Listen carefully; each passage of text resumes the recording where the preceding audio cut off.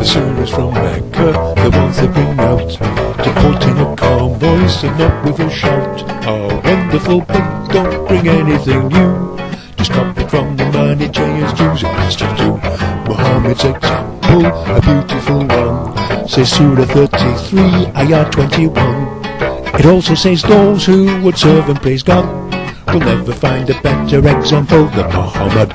Muhammad the role model, that's what was new perfect example showed us what to do.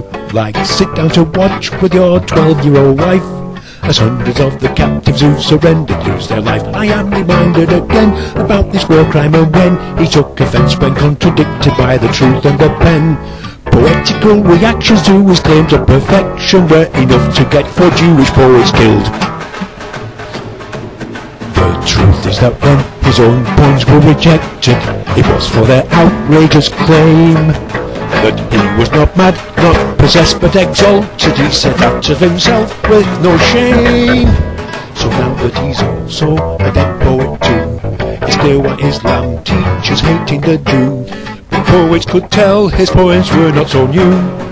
The satire that his lame excuse was that only too. It's all right there in the book, if you can just take a look. It says that God, the one and only God, conveniently took time out to send another verse which literally spells it out that Muhammad is the perfect man.